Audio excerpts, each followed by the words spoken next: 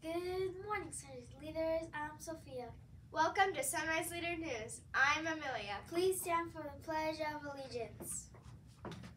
I pledge allegiance to the flag of the United States of America and to the republic for which it stands, one nation, under God, indivisible, with liberty and justice for all. Please be seated. We will now observe a moment of silence.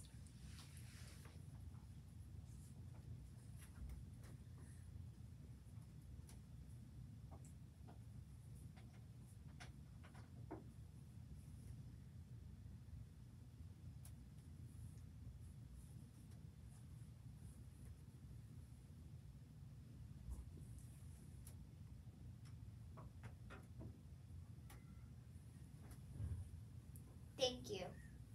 I hope you're hungry because our lunch choices today are cheese pizza, pepperoni pizza, PB&J bundle, steamed broccoli, grape tomatoes, pineapple cup, and choice of fresh fruit. And now an important message. The habit of the week is habit one.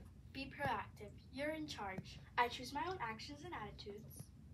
I do the right thing without being asked, and I do not blame others for my actions. Back to the anchors. It's for you, Amelia. Okay, thank you for reminding me. Remember to be a good Lee around campus to earn some dolphin dollars.